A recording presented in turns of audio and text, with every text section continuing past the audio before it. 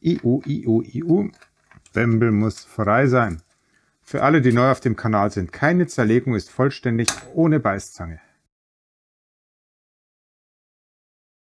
Heute habe ich einen potenziell lebensgefährlichen DVD-Player auf dem Tisch. Olaf hat mir den geschickt. Der war sogar noch original verpackt, aber ich habe das Unboxing, das habe ich uns jetzt schon abgenommen, weil ihr wisst ja, keiner mag Unboxings. Für das Gerät gibt es einen Rückruf und Olaf hat es also im Nachlass und er wurde dann darauf hingewiesen, dass das vielleicht nicht so gut wäre, das zu verkaufen.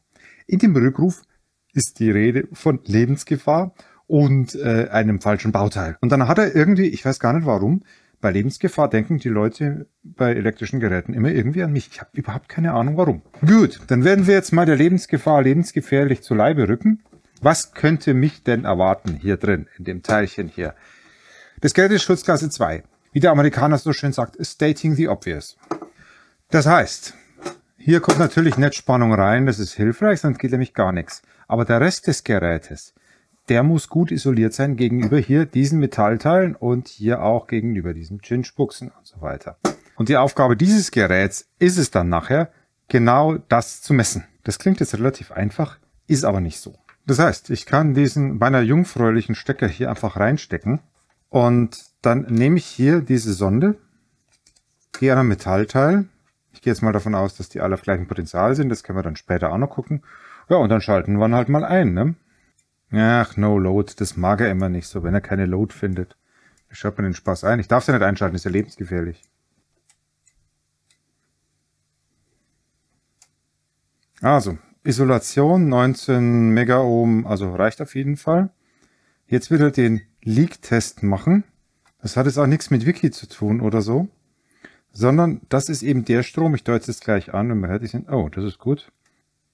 So, also 0,10 Milliampere ist im völlig grünen Bereich. Das ist der Strom, den er jetzt hier über das Gehäuse auf PE ableiten kann. Oder andersrum ausgedrückt, es gibt ja Gehäuse, also Metallteile oder metallische Geräte. Das wäre vielleicht schon mal aufgefallen. Wenn man die anfasst, das kribbelt so ein bisschen. Und das hinterlässt einen ganz, ganz komischen Eindruck. Wo das herkommt, da kommen wir dann nachher dazu. Wir schauen uns natürlich das Gerät von innen an und gucken, welches potenziell gefährliche Teil da drin sein könnte. Aber ich nehme jetzt mal noch eine andere Stelle zum Testen. Zum Beispiel hier eine Metallschraube.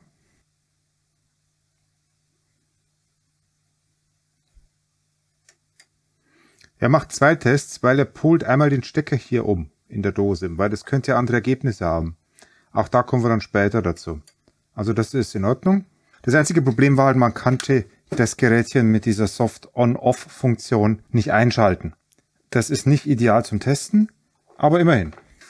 Jetzt darf natürlich die obligatorische Warnung nicht fehlen. Netzspannung kann euch lebensgefährlich umbringen. Wenn ihr so ein Gerät aufmacht, können Kondensatoren auch noch geladen sein, nachdem ihr es wieder ausgesteckt habt.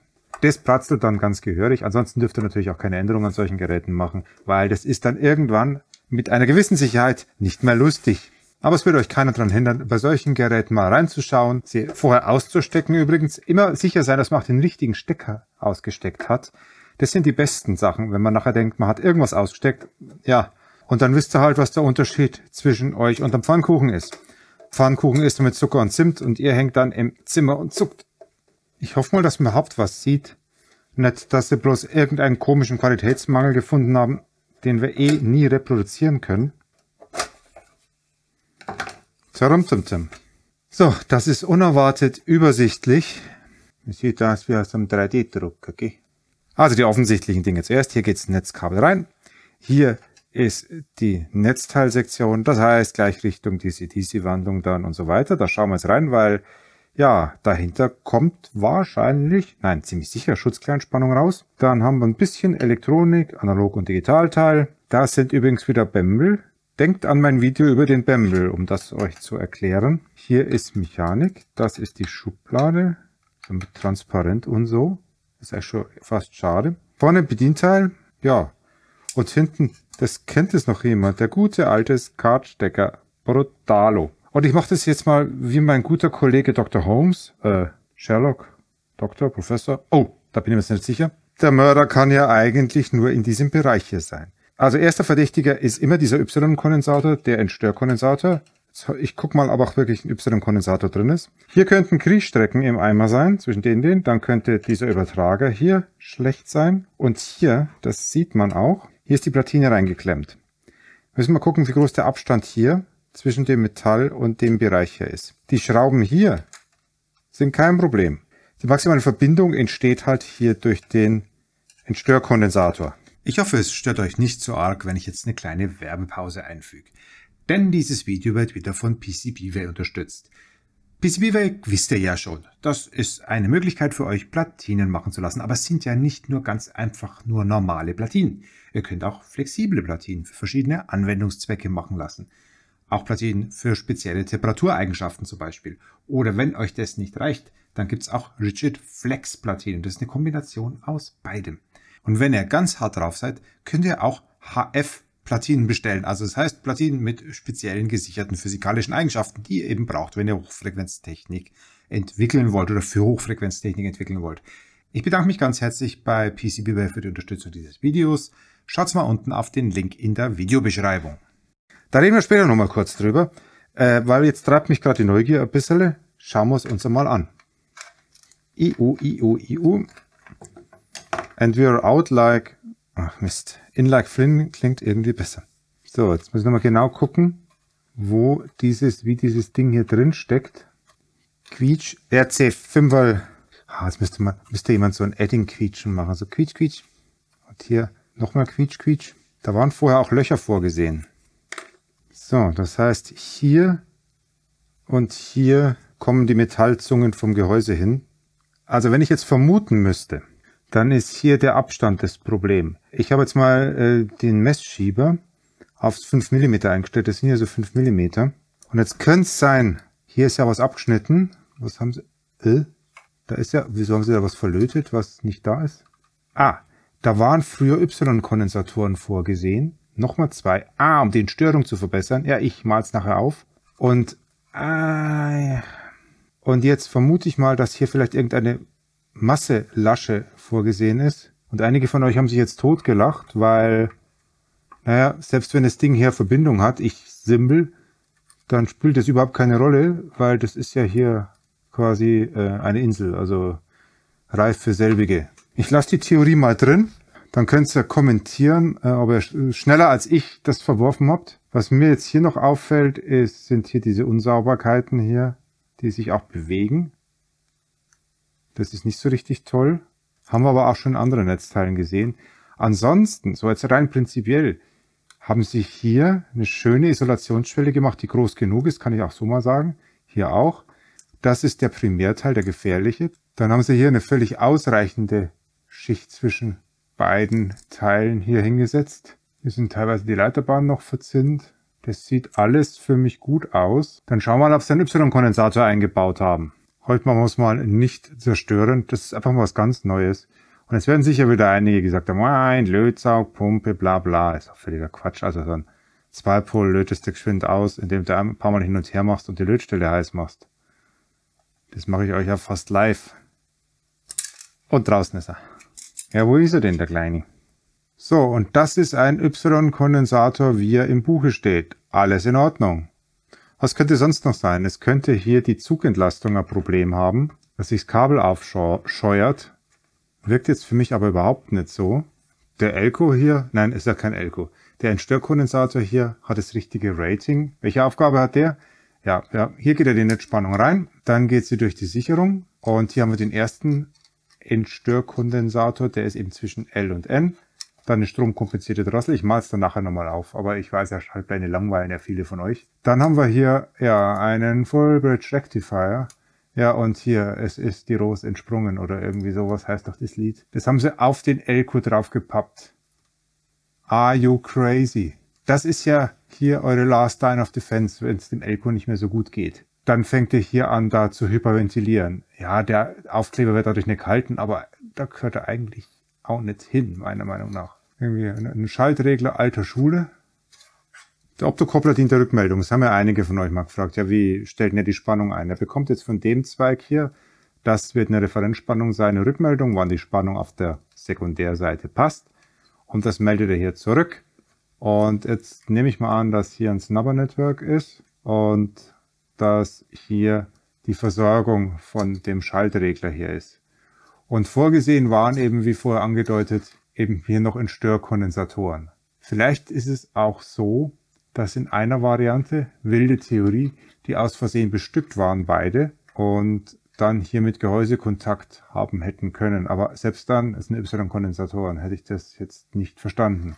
Ich weiß nicht, wie ich auf die Idee komme, aber ich könnte mir jetzt vorstellen, die Sekundärseite hat minus 12 Volt, plus 12 Volt, Ground, 5 Volt und Ground. Von der Größe der Dioden her, wir gehen heute nicht so ganz ins Detail, scheint das jetzt hier die mehr belastete äh, Seite zu sein und die zwei Dioden, schätze ich mal, da oben werden die plus 5, äh, 12 Volt, minus 12 Volt machen und hier über die Referenz wird dann eben eine Spannung als Referenz genommen, auf die wird dann geregelt. Ich nehme jetzt mal an, die, die höher belastet wird. Tut mir leid. Isolation nach unten vielleicht. Also eigentlich, jetzt können alle die glänzen, die immer alles besser wissen. Eigentlich, also vom Gefühl her, kommt man hier mit der Unterseite auf Gehäuse. Der Abstand ist zwar groß genug, aber ein nicht abgeschnittener Pin reicht natürlich, dass das jetzt hier auf Gehäuse kommt. Von meinem Gefühl her müsste es doppelt isoliert sein.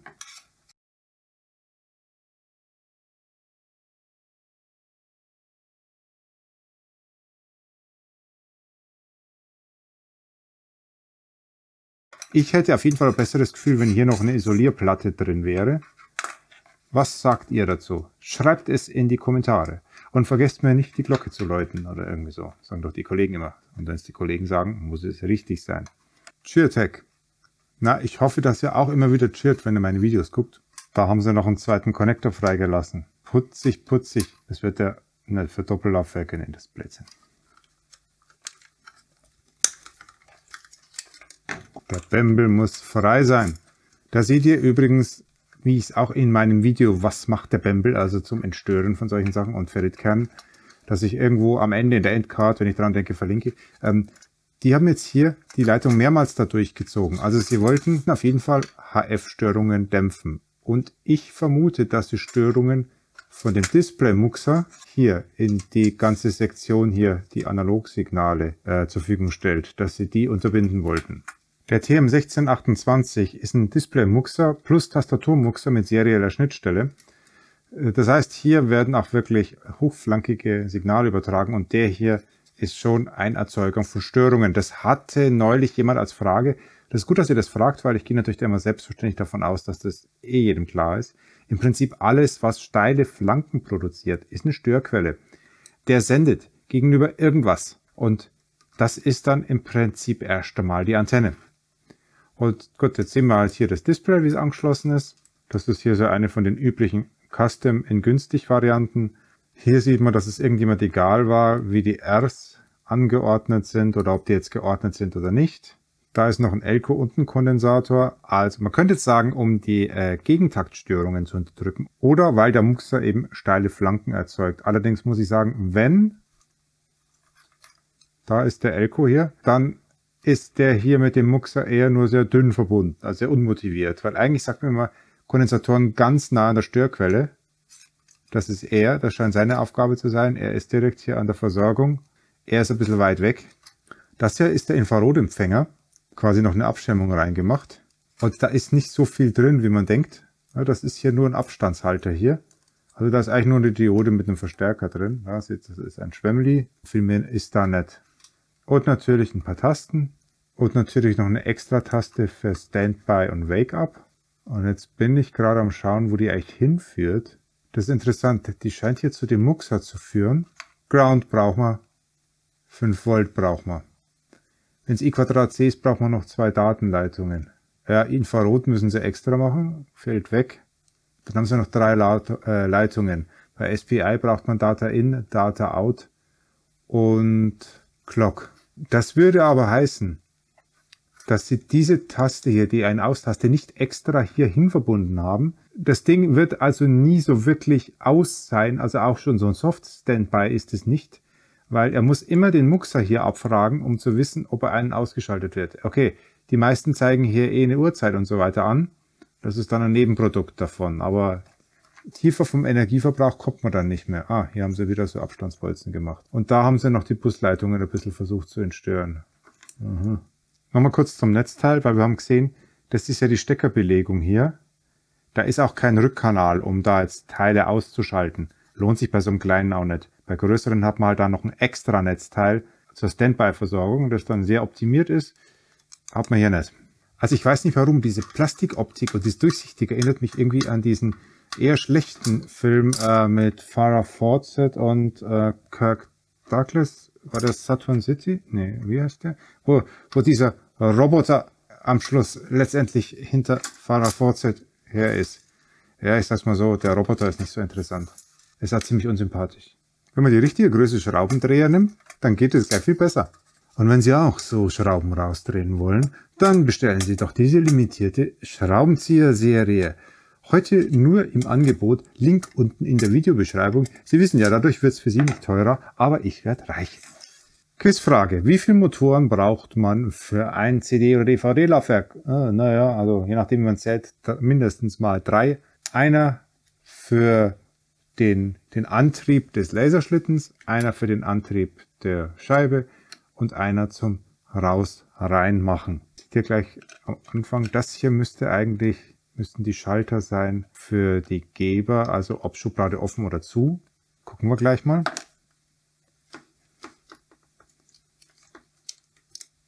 Aha, da ist der Mode Switch. Also das war der Motor da oben.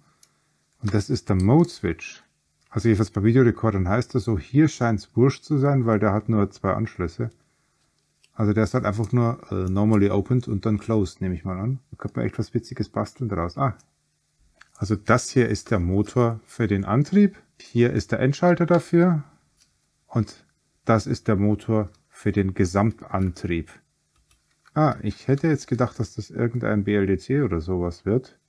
Aber der ist eigentlich auch nur gleichspannungsmäßig verbunden. Das ist interessant, aber ist halt so. Das hier ist der Anschluss des Laser-Pickups. Ihr wisst ja, everything is better with lasers. Ob ich das Ding wohl nochmal zurückschicken kann, wenn ich das hier alles wieder zusammengebaut habe. Ah, hier seht ihr übrigens die Abgleichputties für die Lasereinheit. Da muss ich sagen, kenne ich mich nicht aus. So, ich habe hier ein bisschen Gewalt gebraucht, weil ihr seht ja, dass hier die Linse, die ist bewegbar. Und das passiert normalerweise über einen Magneten, weil das ist der Fokus. Ah, das kann natürlich, ähm, ich korrigiere mich, das kann links-rechts. Ich habe nämlich gerade überlegt, dass das doch eigentlich die Feinspurlage ist.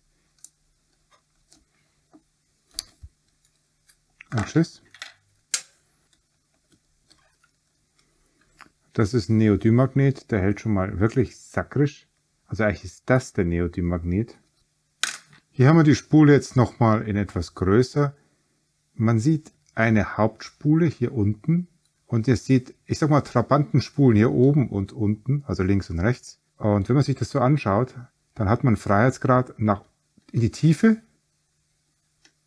Ich vermute, das wird eben durch diese hier großflächige Spule hier erzeugt. Und man hat einen Freiheitsgrad links-rechts.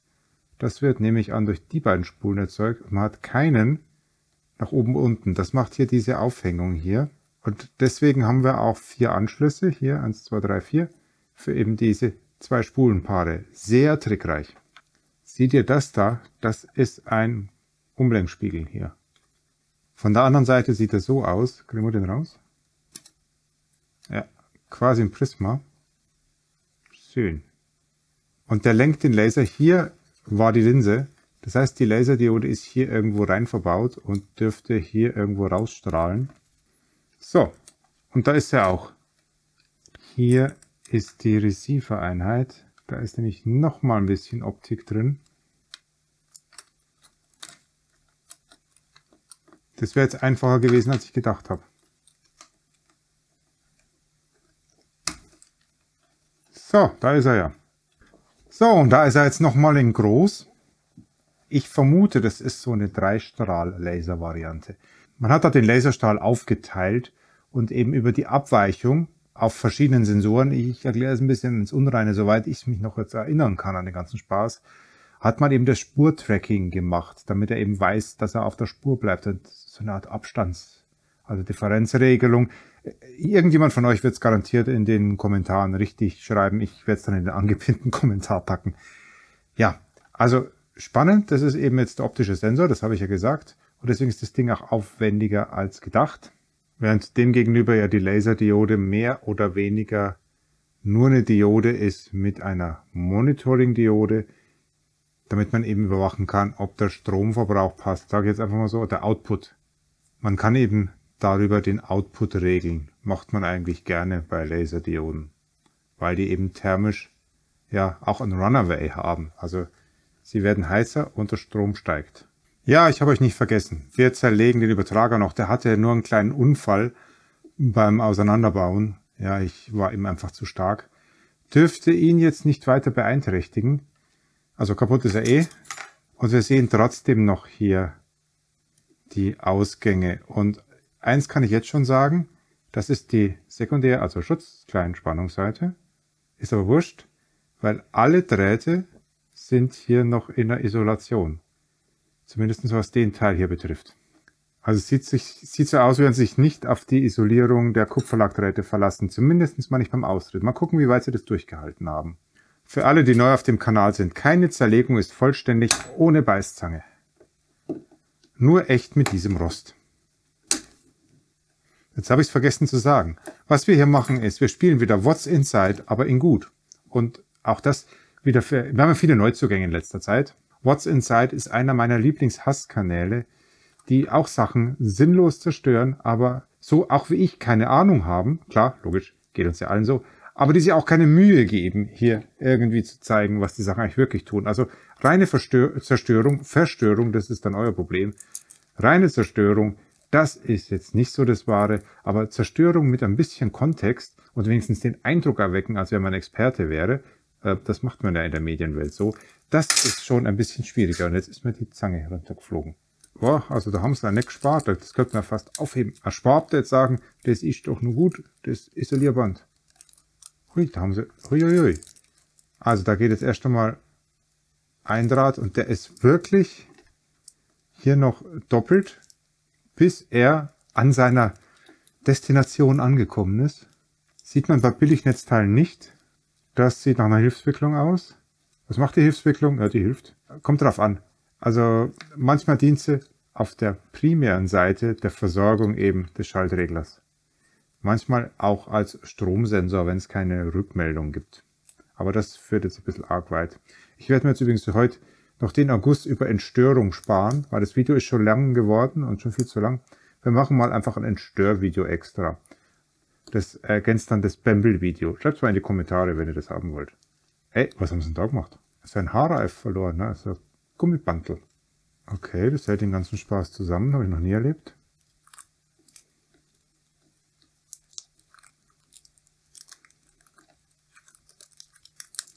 Also das ist auf jeden Fall mehr als sonst, weil manche gönnen sich da nur eine Wicklung oder vielleicht mal zwei. Und hier sehen wir wieder, schön gemacht, da können sich keine Leiterbahnen gegenseitig berühren, also keine Fädeldrähte, ich nenne es einfach mal Fädeldrähte, weil das ist ja echt die kritische Phase, wenn die jetzt hier, hier aneinander vorbeischrammen. Kann aber eh nicht passieren, weil sie die Windungen von der Innenseite her gefüllt haben, also am Rand ist da gar nichts, was gegenseitig sich berühren könnte. Nochmal irgendwie so eine Hilfswicklung. Da waren es irgendwie zwei Wicklungen wohl. Haben sie zwei wohl zusammengefasst. Aber immer noch so, dass es safe ist. Das ist eigentlich gar kein Band. Das ist irgendein Kleber, der aufgetragen wird. Also in der Neuzeit, also seitdem ich jetzt die Übertrager regelmäßig zerlege, ist das einer der richtig guten.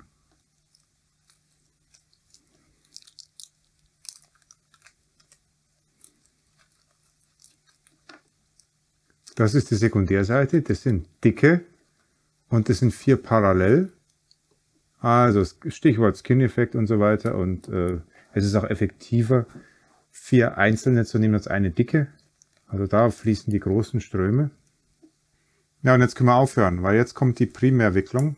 Da müssten die meisten Umdrehungen drin sein. Und die ist auf jeden Fall heiß, hot. Aber auch hier sieht man ja die Zuleitung und die andere habe ich glaube ich abgerissen. Die ist schön isoliert. Ich brauche uns jetzt dann immer viel isolieren, weil da kommt nichts mehr.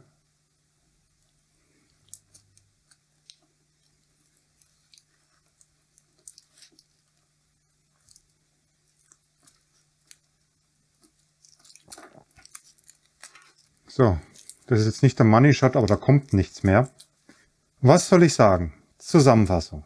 Jetzt haben schon wieder einige in die Kommentare geschrieben, dass das eine sinnlose Zerstörungsorgie ist. Ist es. Ich habe total recht.